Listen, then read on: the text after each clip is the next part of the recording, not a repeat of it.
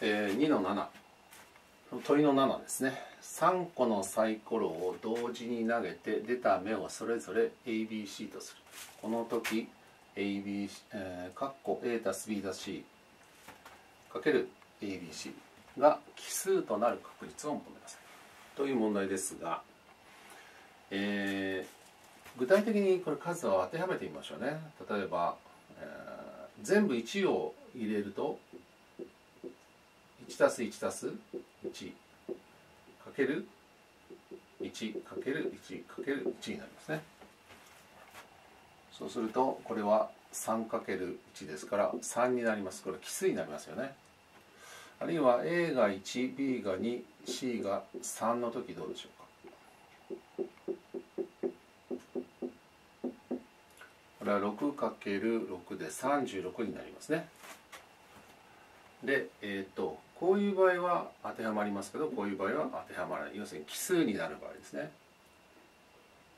で奇数になるためには ABC がどういう値でなければならないかというとまああの括弧の中もそうなんですけどこちらですね。こちらに一つでも奇数が入っ、えー、偶数が入っているとこれは偶数になってしまいますね。その時括弧の中も関係ないですね。括弧の中が何になろうとも、えー、こちらの A, A と B と C の一つでも偶数が入っていると偶数になるので A と B と C は全て奇数でなければならないと。いうことですね。そうすると A と B と C が奇数であればこの括弧の中も奇数になりますね。ですから奇数かけ奇数で奇数になりますね。つまり A と B と C の全てが奇数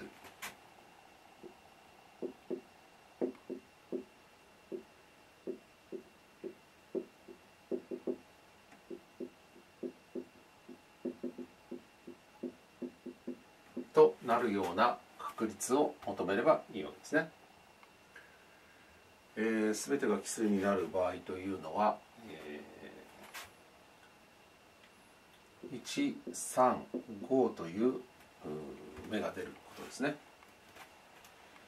で、えー、サイコロの6個の目のうちの135というのは3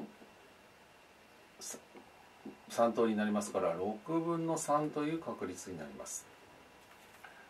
でこれが1つのサイコロについての確率でそれが3個ともこの確率で、えー、奇数が出なければならないですからこれを3乗すればいいですね。2分の1の3乗ですからこれは8分の1ということになります。これが答えですね。